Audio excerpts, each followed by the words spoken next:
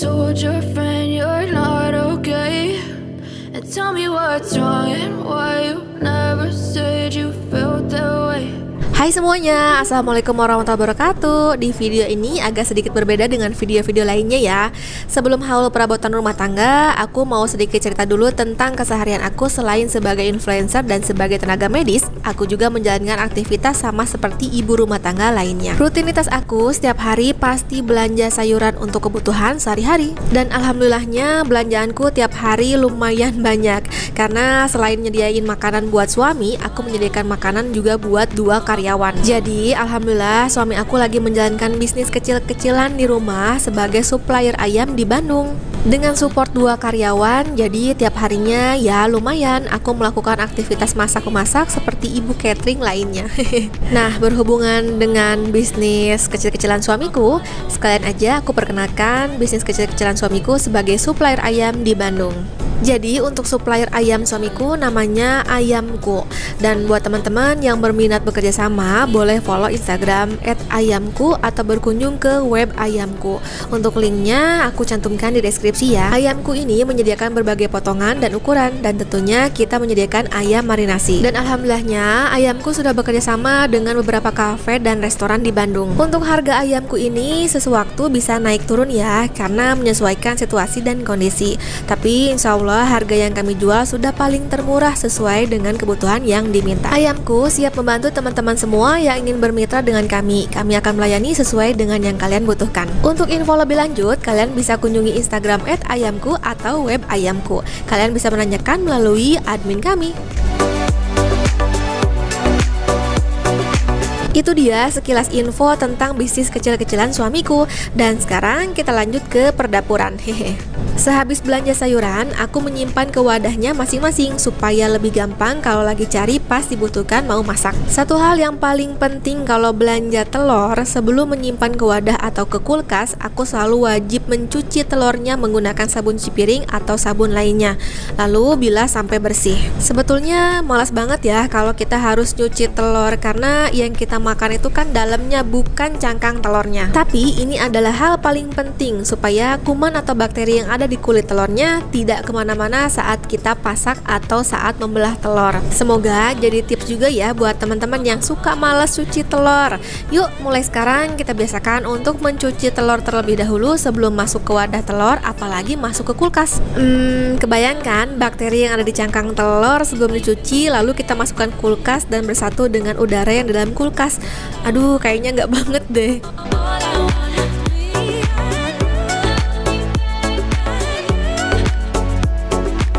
Sekarang kita lanjut untuk Shopee haulnya. Karena aku lagi senang di dapur Jadi kali ini aku bakalan rutin haul perabotan dapur tentunya yang murah meriah dan berkualitas. Menurut aku dapur itu seperti halnya pakaian wanita Di mana kita sebagai wanita kalau menggunakan pakaian yang cantik pasti akan indah dilihat. Dan sama halnya dengan dapur yang tertata rapi dan bersih pasti akan indah dilihat juga. Setuju nggak? Kalau aku sih setuju. Oke deh daripada kita ngomong ke sana sini ya, kita langsung aja unboxing untuk produk yang pertama. Jadi ini adalah produk yang paling spesial dalam video ini karena aku baru aja order blender dengan berwarna hitam. Awalnya aku bingung antara beli penggiling uh, bumbu halus atau buat daging atau blender gitu kan. Jadi akhirnya aku putuskan untuk beli blender aja. Menurut aku kalau aku beli blender selain bisa uh, menggiling bumbu halus jus, bumbu kering, bumbu basah, bisa juga memblender jus kalau kita lagi pengen jus ya. Jadi kan multifungsi banget dan banyak juga manfaatnya. Nah, setelah memutuskan beli blender masih bingung juga nih. Bingung mau merek apa dan warna apa karena aku mau milih harga yang benar-benar masuk ke kantong, nggak terlalu mahal dan nggak terlalu murah, yang penting berkualitas. Akhirnya aku pilih merek dari Cosmos karena semua pilihan blender dari merek Cosmos itu harganya menurut aku sangat terjangkau. Nah, berhubung tema dapur aku tuh pengennya hitam perpaduan abu dan alhamdulillahnya Cosmos mengeluarkan blender yang berwarna hitam super cantik dan memang sesuai yang aku inginkan. Walaupun kemasannya hanya dilapisi bubble wrap saja tapi alhamdulillah kondisi barang aman gak ada kerusakan sedikit pun. Blender ini dilengkapi untuk menghaluskan bumbu kering dan basah. Nah buat detailnya aku buat video selanjutnya ya. Pokoknya blender ini rekomendasi banget deh harganya juga terjangkau cuman Rp312.000 kebetulan aku check out menggunakan voucher yang diberikan oleh tokonya. Jadi ada potongan 10.000 dan total yang aku bayar Rp302.000 nah buat teman-teman yang ingin order blender dari Cosmos juga kalian bisa langsung kunjungi deskripsi di video ini ya. Karena aku udah taruh link tokonya di deskripsi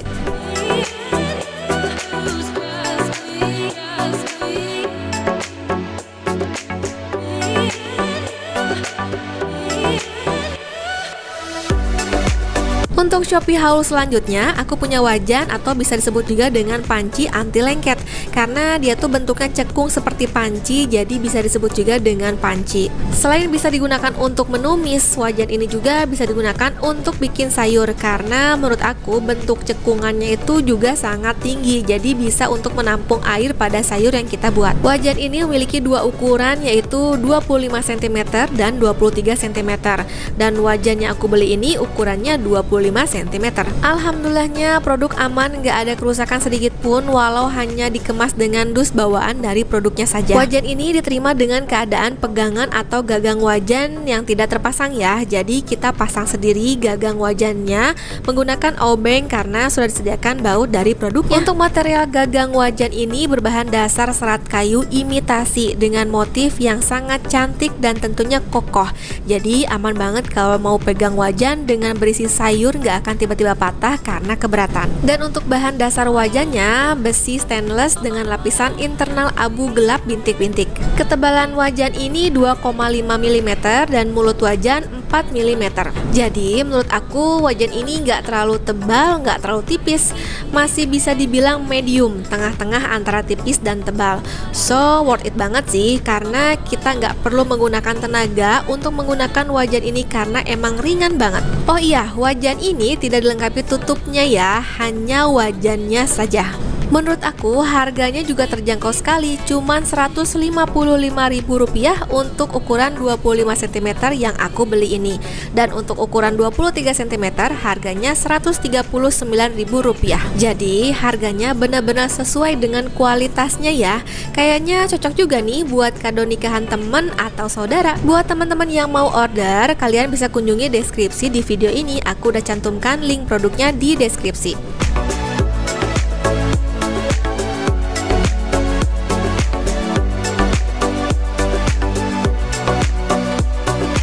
Produk yang ketiga, aku beli tempat sampah dan tempat sendok. Berhubungan tema aku tuh hitam, jadi aku bener-bener cari produk serba hitam dan emang agak lumayan susah sih ya untuk cari warna hitam. Kalau warna abu masih sedikit mudah. Dan alhamdulillahnya aku nemuin tempat sampah dan tempat sendok berwarna hitam sesuai yang aku mau. Dan produknya dikirim hanya menggunakan bubble wrap saja tanpa ada lapisan dus lagi. Jadi sayangnya nih tempat sampah aku agak sedikit melenyon tapi nggak apa-apa sih karena masih bisa dibetulkan ke bentuk semula. Tempat sampah ini berbahan dasar besi yang sangat berkualitas dengan model jaring. Jadi setelah adanya tragedi penyok akibat pengiriman tempat sampahnya bisa dikembalikan ke bentuk semula karena memang bahan dasarnya sangat berkualitas. Jadi dijamin nggak akan gampang potong. Tempat sampah ini sangat ringan, jadi kalau kesenggol dan jatuh akan tetap aman, nggak akan khawatir kalau tertimpa ke kaki si kecil. Tempat sampah ini memiliki memiliki dua ukuran besar dan ukuran kecil. Dan yang aku order ini ukuran besar. Harganya pun terjangkau sekali. Untuk ukuran yang kecil harganya Rp32.550 dan untuk ukuran yang besar seperti yang aku beli ini harganya Rp42.500 Menurut aku harganya sesuai sih dengan kualitasnya daripada kita beli tempat sampah plastik lebih baik kita beli tempat sampah berbahan dasar besi berkualitas ini. Tempat sampah ini juga cocok banget untuk disimpan di kamar untuk membuang kertas-kertas atau sampah-sampah kering. Nah, selain tempat sampah, aku juga beli rak sendok dengan tiga partisi bisa untuk menyimpan sendok, garpu, dan pisau atau lain-lainnya. Tempat sendok ini dikemas dengan dus jadi sangat aman, tidak ada barang yang rusak ataupun penyok seperti seperti tempat sampah sebelumnya. tempat sendok ini sudah dilengkapi dengan baut dan lem untuk perekat di dinding. Jadi kalau teman-teman yang nggak ingin menempelkan menggunakan baut, kalian bisa tempelkan menggunakan lem di dinding dapur kalian. Rak sendok ini juga bisa menggantungkan spatula di bagian bawah rak sendok karena sudah disediakan gantungan atau pengait sendok pada produknya. Jadi super multifungsi dan cantik banget kan? Rak sendok ini berbahan dasar besi ringan, dijamin anti karat berat dan sangat kuat untuk menopang benda yang akan disimpan di rak tersebut. Rak sendok ini memiliki dua pilihan warna hitam dan silver. Nah, untuk harganya sendiri, rak sendok ini memiliki perbedaan harga tergantung pada warnanya masing-masing. Untuk warna yang silver, harganya Rp42.500 dan untuk warna hitam seperti barang yang aku beli, harganya Rp48.800. Menurut aku, harga dari kedua produk ini sangat terjangkau sesuai dengan kualitas barangnya. Jadi, buat teman-teman yang ingin sama boleh kunjungi deskripsi di video ini karena aku sudah cantumkan link produk di deskripsi. Untuk Shopee haul selanjutnya, aku order gordeng kolong dapur karena temanya hitam, jadi aku mau ganti gordeng kolong dapur aku menjadi ke warna hitam. Kebetulan di toko ini menyediakan motif yang sama untuk taplak mejanya. Untuk taplak mejanya berbahan dasar katun, tebal tapi tidak kaku. Dan untuk bagian bawahnya dia dilengkapi kain kembali jadi terlihat tebal tidak akan menerawang. Taplak meja ini memiliki dua ukuran dan harganya pun sesuai dengan ukurannya masing-masing. Untuk ukuran yang aku beli ini tingginya 40 cm dan lebarnya 150 cm dengan harga Rp35.000. Dan untuk ukuran yang tingginya 35 cm dan lebarnya ukurannya 140 cm, harganya Rp30.000. Dan untuk gordeng kolong dapur ini banyak sekali pilihan motifnya. Aku pilih motif poli kurva dengan ukuran lebar 100 cm dan tinggi 75 cm. Aku order 2 pieces karena kebetulan meja dapur aku itu lebarnya kurang lebih 180 cm. Jadi supaya hasilnya bergelombang, aku pasang dua gordeng pada bagian kiri dan kanan. Gordeng ini memiliki tiga pilihan ukuran dan harganya berbeda-beda sesuai dengan ukurannya ukurannya masing-masing. Untuk ukuran tinggi 50 cm harganya Rp16.490. Untuk ukuran tinggi 75 cm harganya Rp23.765.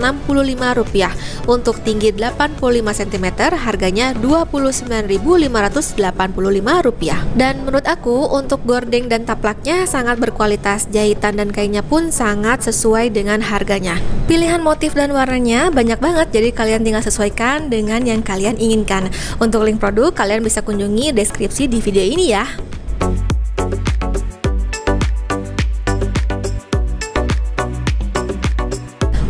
Produk yang terakhir, aku beli hiasan dinding bertulisan kitchen dengan tema hitam sesuai yang aku inginkan supaya dapurku terlihat semakin cantik lagi.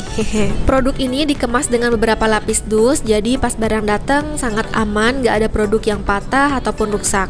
Maklumlah pengiriman dari Sleman ke Bandung, jadi rada was-was juga. Untuk hiasan dinding ini berbahan dasar kayu solid, tebal, dan gak mudah rapuh. Untuk tulisan kitchennya berbahan dasar papan MDF dengan finishing cat water base. Hiasan dinding ini sudah dilengkapi dengan gantungan pada bagian belakang atas. Jadi sangat mudah kalau kita mau tempel di dinding, kita tinggal pasang saja menggunakan paku. Untuk ukuran papan ini panjangnya 50 cm, lebarnya 16 cm dan tingginya 2 cm. Toko yang aku order ini menyediakan berbagai macam hiasan dinding loh.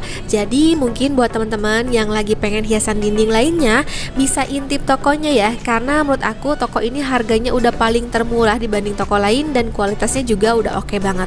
Untuk produk yang aku beli ini harganya Rp51.000 sesuai banget sama kualitasnya ya.